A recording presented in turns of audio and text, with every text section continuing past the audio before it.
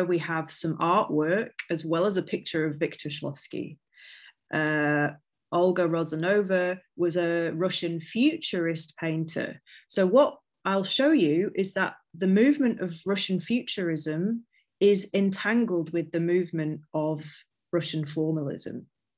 And this is where a lot of the inspiration for making strange comes from, because there is a lot of making strange in Russian futurism. And these Russian futurism and uh, Viktor Shklovsky and the movement he is known to be part of, which we call Russian formalism, they are uh, happening at the same time and they are kind of intertwined with one another. So I'll t- this is what I'm going to talk to you about. So going back to what I how I introduced this to you last week, we were talking about the different ways this word in Russian originally, ostranenie, um, how this is translated. And it's translated as defamiliarization, estrangement, making strange, or estrangement. And um, there are a lot of ways that we can think about this. Uh, one of the ways that we can think about it is in terms of cinema. And it's the time at this point in the early 20th century, it's the time of early cinema it's a really exciting time for cinema. And um, there's this Russian filmmaker, Dziga Vertov, and he experiments uh, with the things you can do with the camera. And there's this famous film, maybe one or two of you have seen this Man with a Movie Camera. So he's making documentaries at this time, and he is playing around with um, a way of filming with the camera rotated slightly so that everything is made a little bit strange because the dimensions don't look quite right. The angles don't look quite right. So this is an example, a really um, clear visual example of defamiliarization. And it's happening round about the same time. So this is a good way, a good thing to keep in your mind as um, an initial uh, example of defamiliarization happening at the time and the place when it was invented. So that's um, how it might be seen uh, cinematically. So if we're thinking about that um, shot of the camera being moved sideways, let's now think about how that could be uh, described in, an, in a similar linked way, still about movement. Um, this is Viktor Shklovsky, our guy, from another of his books called Knight's Move. There, this is the quotation. He says, "The knight is not free. It moved in, it moves in an L-shaped manner because it is forbidden to take the straight road."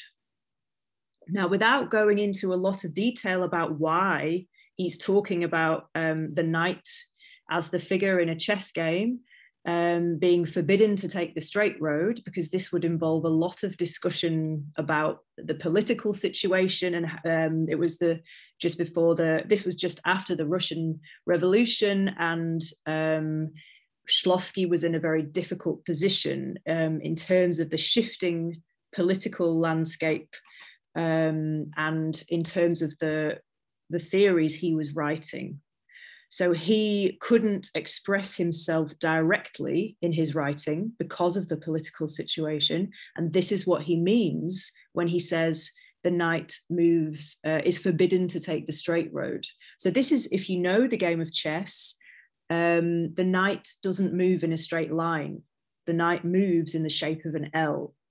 So this is very interesting for us in terms of making strange because it seems to be then about moving in an unexpected way, moving somehow sideways as well as forwards or backwards. Um, in any case, it's not the straight path. So this, as well as the shifting camera um, view, these are some examples, some visual examples of how the concept emerged. Okay, so I mentioned Russian futurism. So, this movement, maybe you know about Futurism as one of the many avant garde movements um, which emerged at the beginning of the 20th century across Europe. Um, and Futurism is generally understood or known about in the Italian context. Um, Italian Futurism was much more well known. Um, it was a much bigger movement, and um, we have figures uh, like Marinetti, who was the kind of leader of the Italian futurist movement. Um, but at the same time, there was the futurist movement was happening in Russia, um, and it was quite different. Um, and this also shows examples of making strange because what they did with the with language and with painting um, with performance, with theatre. All of these show examples of defamiliarization, even at the level of how their texts were published. As you can see in this example, um, and this, uh, this text was called World Backwards, which again shows you something there's a there's a degree of making strange even in that title world backwards so it's not as you would imagine it to be um, but they're often printed on old paper. Sometimes they were p- printed, these texts were printed on old wallpaper um, and quite primitive in terms of the style. Um, so and quite striking as well. So this is this is a little bit of Russian futurism, and then there is also here this word zaum, which is a word they made up the Russian futurists. Um, and there you have the uh, both the Russian um, the Russian word, and then its uh, transliteration in English, and then the description of what this word means. So Zaum means beyond the mind or trans sense. Um, and this was the kind of language which the, some of the Russian futurists made up. They were trying to invent a new language. So it's quite revolutionary and exciting in a lot of ways. But it also involves defamiliarization um, and making strange. The other word, which I have put there for you to see, is shift, or in the Russian, sdvig. Um, this is also really important because um, defamiliarization, or what we're thinking about, is, a is about a shift in perception. I was talking about that last week. Um, a shift in perception. So both of these terms, Zaum and shift, these are really useful for us to think about in terms of understanding where this strategy or device of making strange comes from. Um, so here uh, we have, uh, this is another text um, which the Russian futurists uh, wrote and published. And they published it on, um, you can see the material is almost, it's like a sacking material, like some kind of cloth. Um, this was the manifesto of the Russian futurists, and it was called A Slap in the Face of Public Taste. So it's quite aggressive in its um, in its tone, let's say. And um, one of the lines from their manifesto we alone are the face of our time. The horn of time blows through us in the art of words. The past constricts. So you can see from there how they're talking about time. They describe themselves as futurists, so they're clearly very forward looking in what they want. Um, and yet at, at, the same time, um, the whole time is blowing through them in the art of words. So that's an interesting way of thinking about it, an interesting metaphorical way of thinking about it um, the past constricts. So they're not so interested in the past, they're looking forward.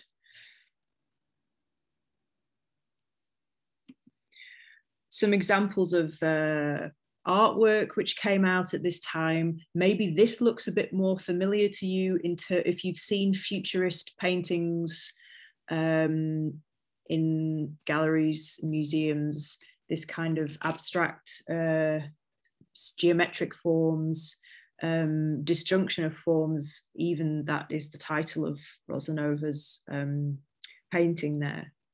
Um, so this is Russian futurist painting. And you can see that the making strange is happening here as well. Some more ex visual examples. Um, Goncharova, another Russian futurist painter, um, and she painted the some of the front covers or illustrations for some of the futurist texts, such as this one, um, and also a more kind of classically futurist looking painting, although it's more, it's less geometric and a bit more natural, I would say, than some of the Italian futurist examples we could think of. Okay.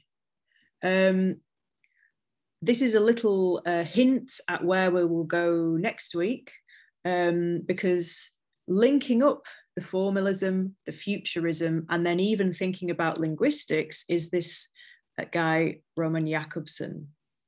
And he is, uh, we will read a text from him um, for next week. Um, he uh, had a very long career, but he started off as a young man um, hanging out with the Russian futurists and writing manifestos. And he, he had a, um, another name that he used to sign um, when he was writing these more radical texts. And then later on, this book came out called My Futurist Years, because he became an extremely uh, influential linguist, Roman Jakobson. Um, but we will talk about him next week. Uh, this is just to show that there's another another figure who is important, I would say. Okay, another text from Shklovsky, very similar in its message to the um, art as device, which we will talk about a bit later. Um, here he says, the writers of past times wrote too smoothly, too sweetly. Their things were reminiscent of that polished surface of which Korolenko spoke. Across it runs the plane of thought, touching nothing. The creation of a new tight language is necessary, directed at seeing and not at recognition. So we will talk about this opposition of seeing and recognition because these are different ways of perceiving things. Um, he's all, Shklovsky is always pointing us to seeing rather than recognition. Seeing is a creative act. Recognition is a kind of automatic uncreative act. But we'll come back to that. He also says um, the history of art shows us that, at least very often, the language of poetry is not a comprehensible language, but a semi comprehensible one. Thus, savages often sing in archaic or alien tongue, sometimes so incomprehensible that the singer or more correctly, the lead singer must translate and explain to the choir and audience the meaning of the song he has just composed. So the idea of the language of poetry being semi comprehensible, it's not a straight uh, communi- uh, a straight line of communication. Something else is going on in poetic language, and this is the making strange. So this is thinking about it from the line of writing and text. We will come back to this when we're reading Art as Device later on, but this is to give you some more from Shklovsky. Okay, so I thought I would give you an example of poetry from this time, from a Russian futurist uh, writer um, quite a visionary figure, Velimir Khlebnikov. Um, and this is the kind of poetry which he was uh, inventing, which is playful and um, definitely uh, defamiliarized, I would say.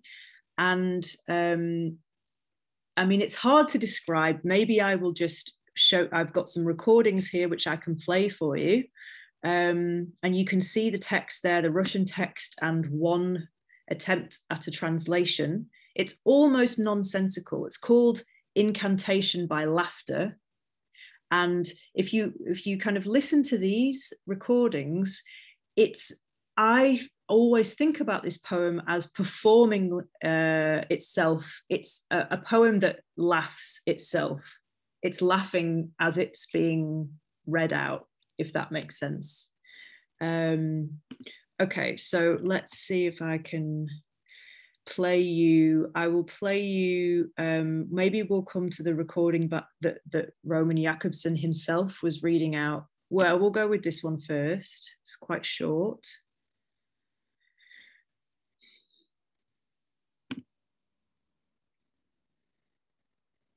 Заклятие смехом.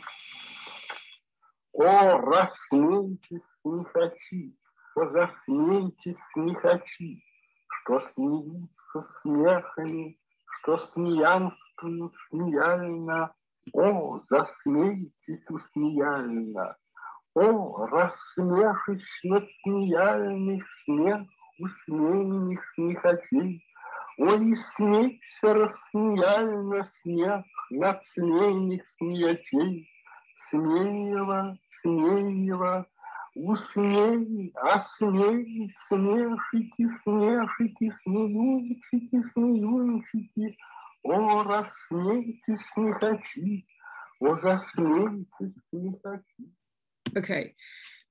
Don't worry if you don't understand this, um, because now I will play you a different version where we hear uh, an English translation. Um, but it's just to get the sense of the rhythm. There's rhythm, there's uh, up and quite a musical intonation there in, in Roman Jakobson's reading, but just listen to this one. Translation of the mm-hmm. English of this great uh, poem on its 100th anniversary, Incantation by laughter in English. Sounds great. Заклятие смеха.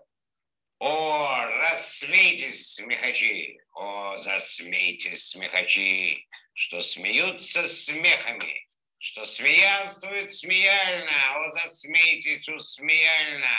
О, рассмешишь над смеяльных, смех усмейных смехачей! О, и смейся рассмеяльно смех над смейных смеячей! Смеева, Смеева, усмей, осмей, смешики, смешики, смеюнчики, смеюнчики, о, рассмейтесь, смехачи, о, засмейтесь, смехачи. So here's my, my translation of this poem. Incantation by laughter. We laugh with our laughter Low laugher and loafer, slof, laughter and leffer, lop, laughter and loofer, loop, slapper und lassler, pleat, loper, ek, lippler, bloop, oofer und hooter, floop, flaffer, ek, fluber, foot, lickless and slicklers, act, lushing, ag, laughing, ook, looping, ip, loopling, ook, littling, got, sprinkling, ook, laughter, ook, laughing, ook, laughing, ook, laughter. This is Okay. Um, so you can hear you can hear in this translation the feeling of the poem has been preserved, which is very playful. Um, and there are lots of words which are somehow nonsensical words, but the but this general sense of laughing and kind of silliness is being uh, expressed there. Um, even more extreme, um, even more performative, I think, is this uh, example here.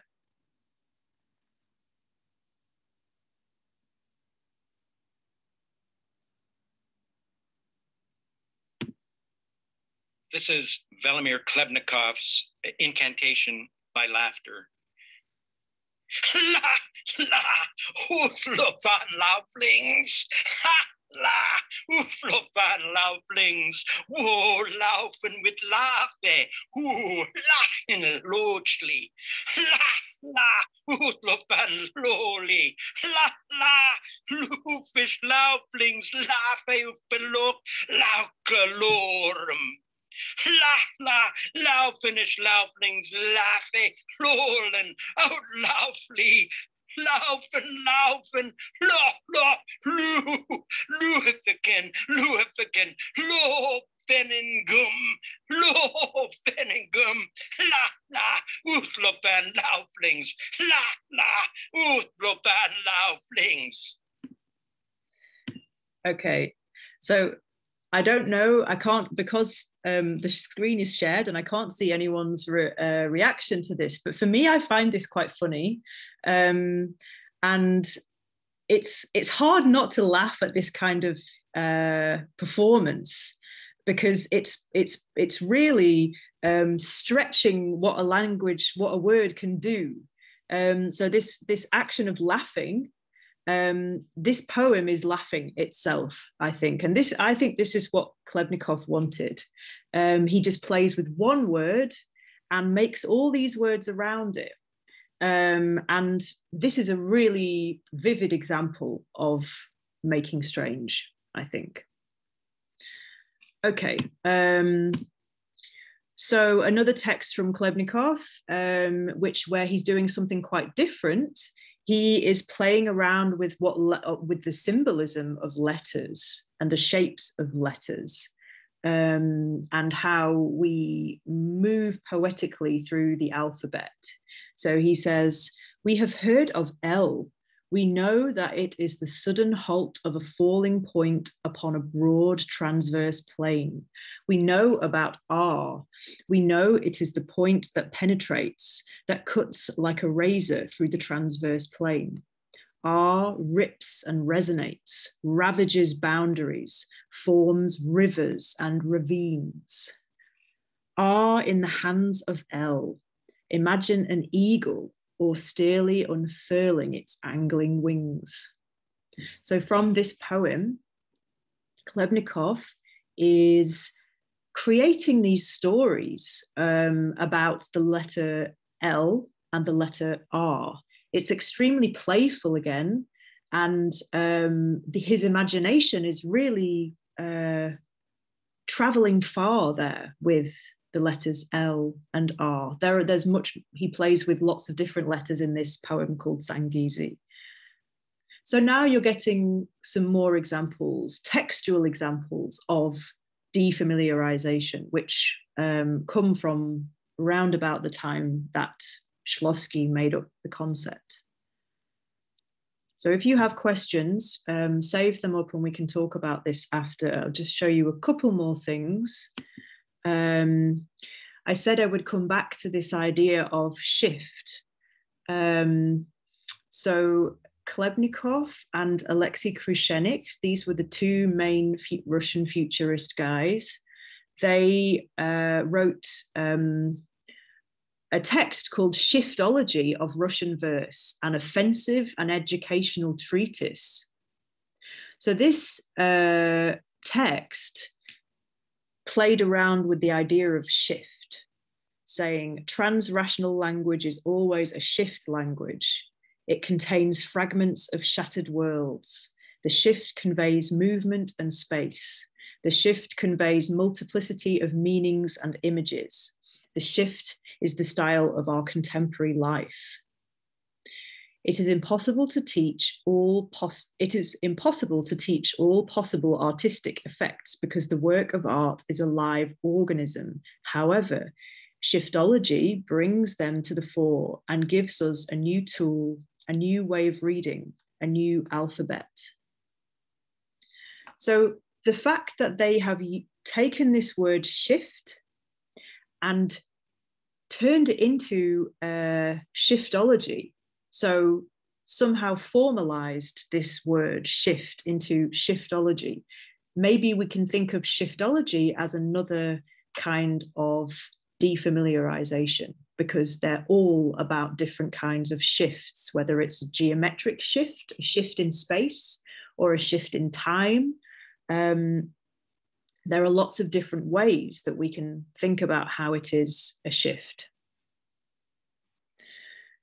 Okay, um, just to show you, this is, I wrote a book, I, my PhD was um, working on this area along with the philosophy of Gilles Deleuze.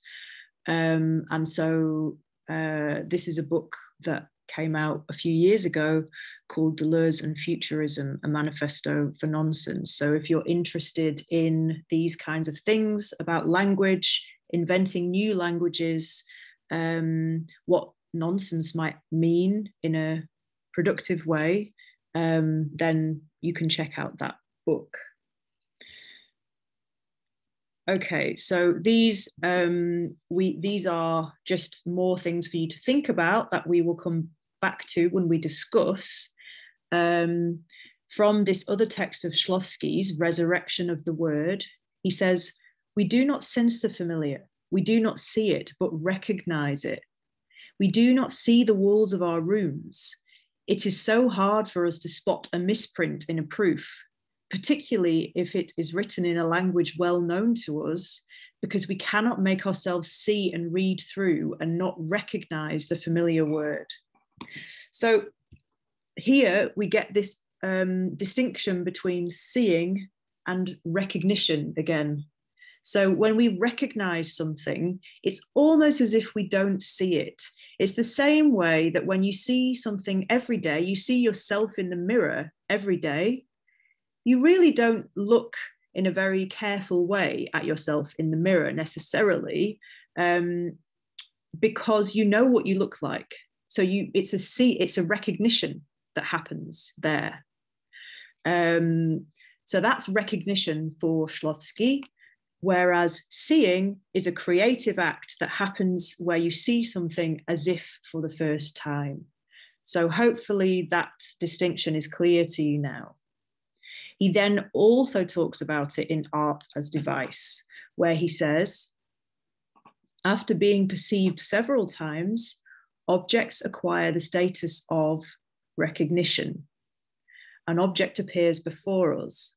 We know it's there, but we do not see it. And for that reason, we can say nothing about it the removal of this object from the sphere of automatized perception is accomplished in art by a variety of means. So again, what, what he's interested in, in terms of defamiliarization, is the removal of an object from the sphere of automatized perception. If it's automatized, it happens without us really consciously knowing. So hopefully that's um, more clear for you now. And then I will just finish with another hint to a future um, session we'll do. And this is thinking about these ideas in terms of gender. Um, and this is obviously much, much more uh, recent. Um, Judith Butler, who is a, a gender theorist, talks here about categories of different categories of perceptions. And she says in her book, uh, in the preface in 1999 to her book Gender Trouble, she says, What are the categories through which one sees? The moment in which one's staid and usual perceptions fail, when one cannot with surety read the body that one sees, is precisely the moment when one is no longer sure whether the body encountered is that of a man or a woman. So I will leave that with you to think about. We'll come, we have a whole session where we will talk about these ideas in terms of um, gender. Um, but that's just to show you how we could use the original concept to think about a more uh, modern concept or a more contemporary concept. Okay, I will stop sharing my